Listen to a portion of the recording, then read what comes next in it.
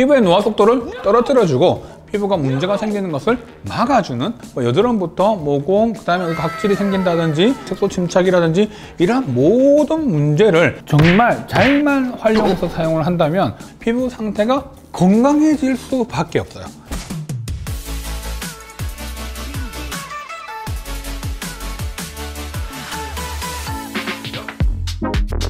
안녕하세요. 피부과 전문의 김홍석입니다. 자, 오늘 제가 말씀드릴 주제는요, 바로 레티놀이에요.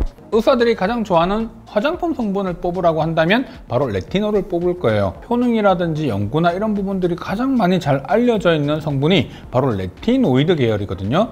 자, 이 레티노이드 계열은 원래는 처음에 여드름을 개선시켜주는 목적의 의약품으로 개발이 됐는데 retinoic acid 같은 경우는 가장 활성화된 형태이긴 하지만 가장 자극도 심하고 문제도 많고 너무나도 이런 피부에 문제들이 많이 생길 수 있다 보니까 손쉽게 누구나 사용할 수 있게끔 만들어주면 좋지 않을까라고 해서 개발된 게 바로 레티놀입니다. 확실히 레티놀 게시드보다 자극도 덜하고 어, 이런 부분들이 확실히 문제가 덜하니까 화장품에 사용을 할 수가 있는 거죠. 피부는 외부의 자극에 의해서 끊임없이 손상을 받고 있죠. 자, 그 손상을 받는 것들을 회복하기 위해서 꾸준하게 노력을 합니다. 피부 장벽뿐만 아니라 이런 각질 세포가 계속해서 분화하는 이런 과정을 끊임없이 하기 때문에 실제로 우리 피부가 마치 되게 건강한 것처럼 보이 보이게 되는 거죠. 보통 상처가 생겼을 때 상처 재생 속도가 되게 빨라진다는 것은 각질세포가 상당히 빠르게 확 분할을 해야 되고 무너진 장벽을 또 빠르게 회복시켜주는 기능들이 상당히 원활하게 이루어져야 되는데 나이가 들수록 이러한 기능들이 상당히 많이 떨어지게 되죠. 진피와 표피의 경계부가 상당히 이게 촘촘하게 있어야 되는 부분들이 점점점 늘어지게 되고 늘어지면서 결국은 이런 신호 전달에도 문제가 생기면서 여러 가지 문제점들이 생기게 되는 거죠. 자, 그런데 이 레티노이드, 레티놀 이런 성분들은요. 결국 이러한 과정들을 좀 잡아주는 역할을 해요. 피부의 분화, 각질 세포가 계속해서 잘 만들어지게끔 분화를 계속해서 끊임없이 자극을 해주고 표피에 있는 각질 세포가 밀도가 상당히 높아지고 튼튼해지고 되게 단단해지는 구조가 생기면서 외부 자극으로부터 피부가 되게 잘 적응할 수 있게끔 만들어주고 진피와 표피의 경계부가 잘 유지가 되면서 상당히 많은 서로의 신호 전달이 왔다 갔다 할 수 있게끔 만들어주는 구조가 되다 보니까 피부의 노화 속도를 떨어뜨려주고 피부가 문제가 생기는 것을 막아주는 그러한 역할을 하는 겁니다. 그래서 우리가 이런 레티놀을 사용했을 때 제일 많이 이야기하는 게 원래는 주름 개선 이런 이야기 되게 많이 하잖아요. 처음에 레티노이드가 개발됐을 때 어떤 포인트였냐? 여드름이라고 했어요. 여드름이 너무 많이 심하게 나는 사람들이 사실 이런 각질 세포의 분화가 상당히 무너져 있거든요. 왜냐하면 염증도 계속해서 반복해서 생기고 아니면 뭔가 잘못된 분화 형태 때문에 막혀가지고 문제들이 많이 생기죠. 근데 이걸 턴오버를 되게 빠르게 만들어주고 새로운 세포 계속 만들어주고 상처 재생이나 회복을 되게 좋게 만들어주니까 이런 여드름 역시 상당히 좋아지게 만들어주는 겁니다. 사실 이 레티놀을 사용할 때 많은 분들이 걱정하세요. 아, 나 피부 이거 되게 민감한데 실제로 이런 제품들을 사용을 했을 때 괜찮을까? 이런 걱정들을 좀 하시는 분들이 계시죠? 모든 retinoid 계열은요, 특히 레티놀도 마찬가지입니다. 레티놀은 사용할 때 주의사항을 제가 몇 가지 말씀드리면요. 사용 처음에 할 때 너무 욕심내서 많은 양을 쓰시면 안 됩니다. 왜냐하면 사실 이 레티놀이라고 하는 것들이 사실 어떤 기능을 보냐면 피부 우리 각질 세포 있죠. 이 각질 세포의 turnover를 되게 빠르게 만들어줘요.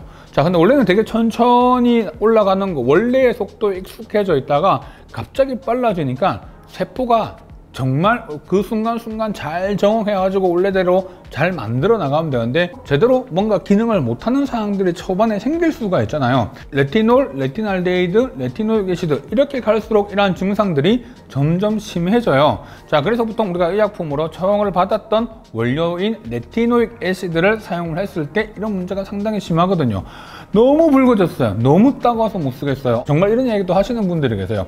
근데 이런 것들을 확 줄여주죠 레티놀이. 자 그래서 레티놀은 사용할 때 첫 번째 소량씩 사용을 하셔라 라고 하는 게 맞고요. 두 번째는 뭐 우리가 보통 농도라는 게 있잖아요. 함량이라는 게 있잖아요. 레티놀 함량이 많으면 예, 물론 효과가 좋죠. 근데 그만큼 여러 가지 불편한 부분들이 좀 더 많이 생길 수가 있어요. 그러다 보니까 함량이 적게 들어가 있는 것부터 천천히 적응시켜서 사용하는 방법을 쓰시는 게 상당히 중요한 부분입니다. 자, 세 번째는요. 이 자극이 생길 수밖에 없다 보니까 그러한 부분들을 좀 더 완화시켜주는 성분들을 같이 쓰시는 게 좋습니다.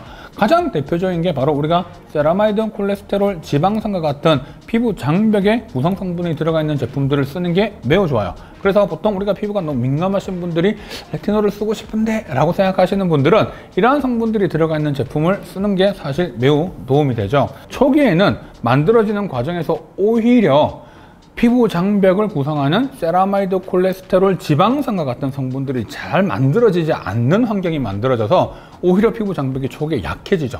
그러니까 되게 자극이 심할 수밖에 없는 그런 환경이 생기는 겁니다. 자, 그러면 바로 어때요? 레티놀을 사용할 때 그런 것들을 같이 초반에 잘 사용해주면 그런 자극이나 문제점들을 확실하게 줄여줄 수 있는 그런 장점이 있잖아요. 그래서 외부의 자극으로부터 끊임없이 우리 피부라고 하는 것들은 되게 손상을 받는 과정들이 많이 생기죠. 물론 뭐 항산화 성분들이 들어가는 것도 좋고 여러 가지 좋지만 저는 시카 성분을 되게 중요하게 생각을 합니다. 제가 아주 예전에 시카에 대한 이야기를 좀 드린 적이 있어요. 재생 크림에 대한 부분들을 이야기를 드린 적이 있는데 뭐 재생 크림이라고 하는 거 하면 어떤 성분이냐면 장벽도 튼튼하게 만들어주면서 실제로 피부의 상처를 회복시켜주는 속도를 빠르게 만들어주는 성분들이 상당히 중요합니다.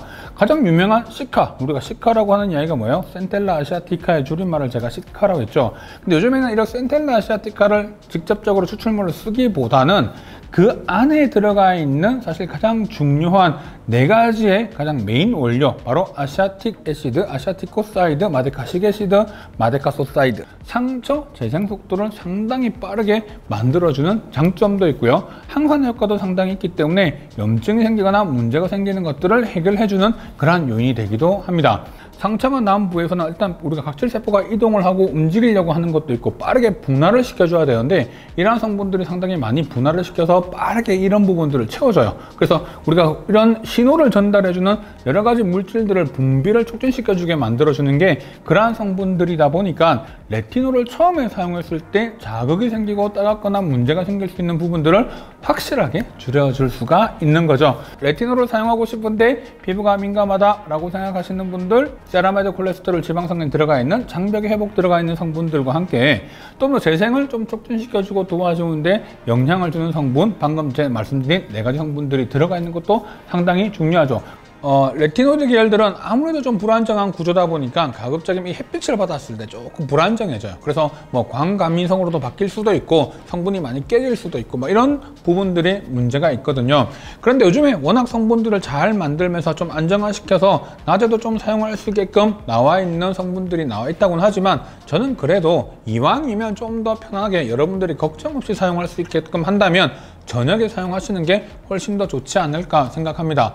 그렇게 했음에도 불구하고 아, 좀 따가워지네요. 라고 하는 분들이 분명히 있을 수 있잖아요. 자, 그렇다면 좀 하루나 이틀 쉬었다가 다시 좀 충분하게 보습과 재생을 해주고 다시 또 사용을 하면 또 괜찮아집니다. 자, 근데 이걸 반복하시는 분들도 분명히 생길 거고요. 반복을 계속 하다 보면 점점, 점점 그 피부 상태가 레티놀에 적응을 하면서 나중에는 꾸준하게 매일 사용하실 수 있는 그런 성분들이 될 거예요.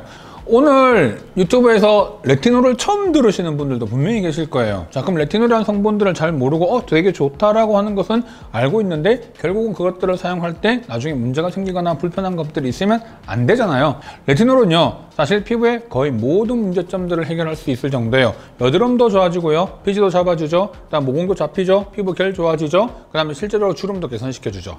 단점이 하나가 뭐라고? 붉어지거나 예민해지고 따가워지는 약간의 민감성 피부에 있을 때만 주의가 필요하고. 그럼 이런 문제점을 덜 만들게 하기 위해서 보습제라든지 재생성분이 들어가 있는 것들을 쓰면 훨씬 더 이런 부분들을 다 커버할 수 있지 않을까요? 자 그래서 레티놀 좋은 성분이에요. 그리고 요즘에 이런 성분들 너무 안정적으로 잘 나오고 있고 실제로 그런 부분의 위험도를 좀 더 줄일 수 있는 여러 가지 방법들을 함께 사용하시면 레티놀에 대한 부분들 좀 너무 겁나잖아요. 겁난 거 그렇게 하실 필요 없어요. 욕심만 안 내시면 되고요. 꾸준히 사용하면서 피부가 좋아지게 만들어주는데 좀 더 집중을 하신다면 여러분들의 피부 건강 상당히 잘 지킬 수 있지 않을까 생각합니다. 오늘 내용 좋으셨다면 좋아요, 구독, 그리고 알림 설정 부탁드릴게요.